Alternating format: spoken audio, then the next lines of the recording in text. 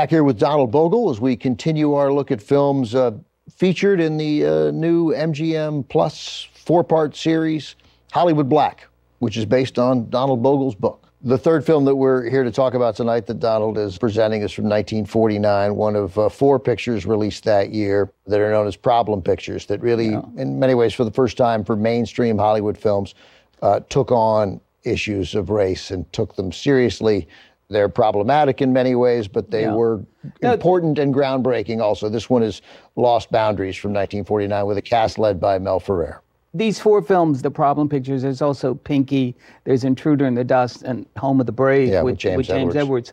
After World War II, there were the, the black GIs who had fought abroad for the freedom of others and, and returning home and realizing, as they always knew, but it was all the more striking, basic freedoms they didn't have in their own country.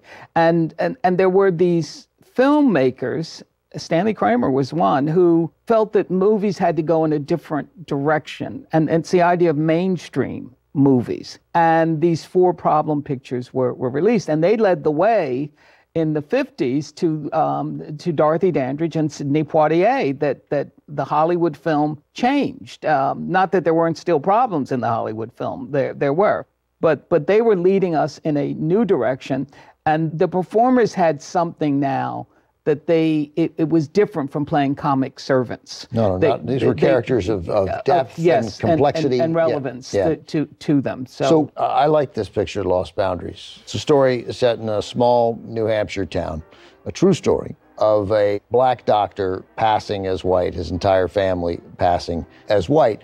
The lead actor, as I mentioned here, is Mel Ferrer. One of the significant issues with it is that these are white actors playing yeah, the, a black this is family. A, it's a real compromise. Yeah. It's very interesting that one of the performers who voiced her opinions when the film was going into production about this casting was Fredi Washington, who yeah. had played Peola, the young black actress who was very light skinned and who played a character passes for white in the first imitation of life. This adaptation of your book, Hollywood Black, the MGM Plus series, has a little bit on, on, on Fredi Washington yes. and, and includes the very telling fact, and I don't mean to pass judgment on anyone who made another decision, but Fredi Washington was light skinned enough that she could have passed for white.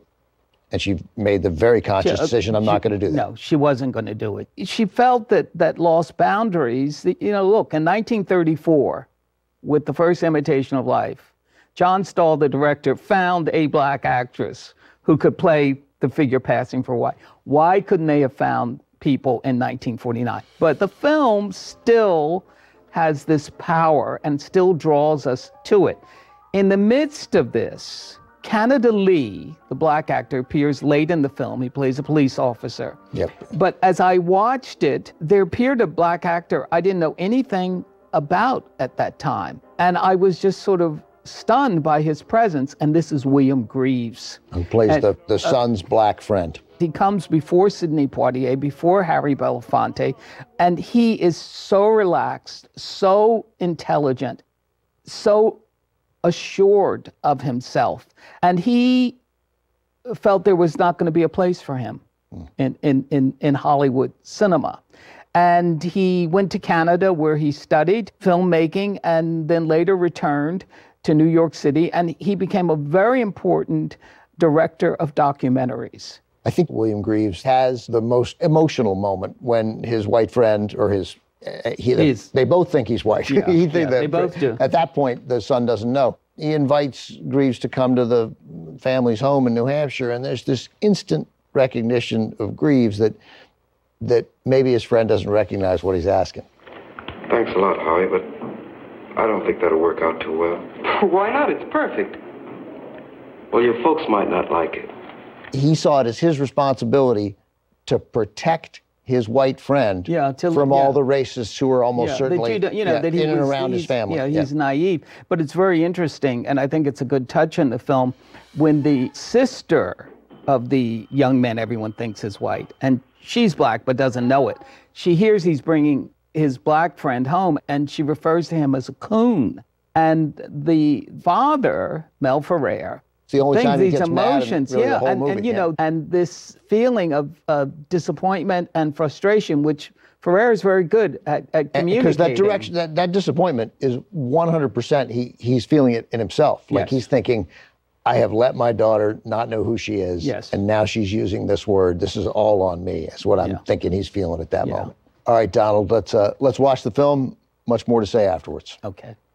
Here it is from 1949 directed by alfred werker mel ferrer leads the cast of lost boundaries Back with Donald Bogle as we discuss the film we just saw, Lost Boundaries. Donald is here to help promote the new series on MGM Plus, Hollywood Black, four part series based on Donald's book, Hollywood Yeah. Black, which he wrote for TCM, one of your 10 books on the Yes, history precisely. of black actors and actresses and filmmakers uh, over the last 125 years. Lost Boundaries is one of these four problem pictures from 1949. And, and the pictures themselves aren't the problems of the problem title. They address problems in America that had yet to be addressed by Hollywood.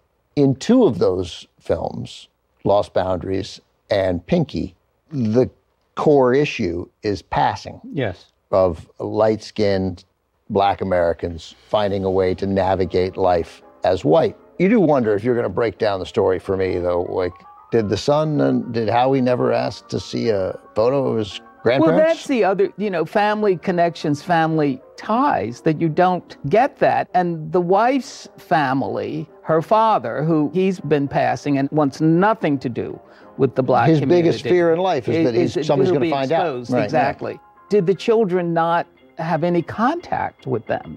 Because they're living, I'm talking about their grandparents who are passing, because they are passing, and he well, he, wouldn't he them mentions that, my sister doesn't even come to the house, suggesting that his sister Yes, can't pass, yes, right? yeah, yeah, and there is that real tragedy, of course, that you then, to do this, you have to make a decision to really completely break with your family. Like you're going into the witness protection program, you have to assume this entire other identity. Yeah, but this doctor, the way he's depicted, because it isn't like he doesn't have racial pride. I've always felt there was something else here that has not been explained. Right. So uh, Donald is, is, is you're you're done for the night. We're done co-hosting movies tonight, but you did program our next film, Yes. The Emperor Jones from, Yes. from 1933, Yes. with a cast led by a seminally important black actor of the first half of the 20th century, Paul the Robeson. great Paul Robeson. Yeah. Yeah. It's based on the play by Eugene O'Neill, and and this was his his big role. The film was made outside of Hollywood. It's really an independent film. It would had to have been yeah, right at the and- time. Yeah, and it got a lot of attention. And and Robeson, it's really stunning to see him. He's so sure of himself, and he's a powerful figure, and he's not going to back down from anyone. And so, in terms of black masculinity that you didn't really get to see in Hollywood films. Robeson just has it, and you follow him. What's interesting about The Emperor Jones, Eu- Eugene O'Neill, uh, when he wrote it, the, the actor who created the part on stage originally was Charles Gilpin, who was considered the great black actor. And Gilpin clashed with Eugene O'Neill because Gilpin didn't like the use of the N word in, in the play. And he would change the dialogue. And, and uh, O'Neill. Yeah, O'Neill, I'm going to guess, didn't like that. Oh, no, he didn't like it at all. But when The Emperor Jones was released, the movie, in the black community, there were complaints about the N word. So Gilpin, he was going in the right place. The, the other ironic thing is that Eugene O'Neill liked Robeson and liked his performance. But he said sometime later that he felt the person who really got to his conception was Gilpin. Oh, really? But Robeson is strong in this film. He's powerful, he's magnetic. He's really he's virile. I mean, he's Yes, like he's like precisely. Sylvester Stallone and Bruce Willis, all these Yeah. '80s action heroes. Yeah. Like he's Yeah. he's so good looking Yeah, and strong and big. Yes, he carries the movie, and and in that sense, this the film is a classic. In the series, the MGM Plus series, Hollywood Black, there is a, a, a good little bit on on Paul Robeson. It Yes. was very historically Yes. important. So people should uh, should check that out. Uh, Donald, this has been a delight as always. Oh, Ben, thank my you. pleasure. Thank you my so much, my friend. Thank you. Thank you. Donald is done uh, for the night, but of course, the movie he just talked about is coming up next from 1933. Paul Robeson leads the cast of The Emperor Jones. Next on TCM, the Emperor Jones, then the Mighty Quinn, and later, out of the blue, the sky's the limit on TCM tonight.